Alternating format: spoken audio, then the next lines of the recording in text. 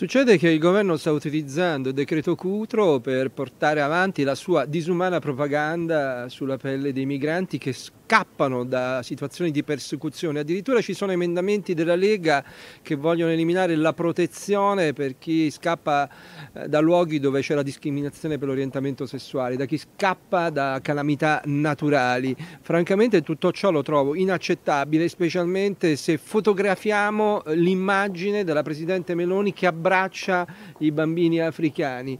Lì fa quello che dovrebbe fare qualunque eh, diciamo, persona dotata di un minimo di sensibilità, in Italia viene e lavora per togliere la protezione a chi ha bisogno, da chi scappa da situazioni di persecuzione facessero qualcosa e ci dicessero al Parlamento cosa deve essere fatto. Lo attendiamo ah, da tempo per un'informativa nel Parlamento, ancora questo non è accaduto. Cosa lo vogliono fare del PNRR?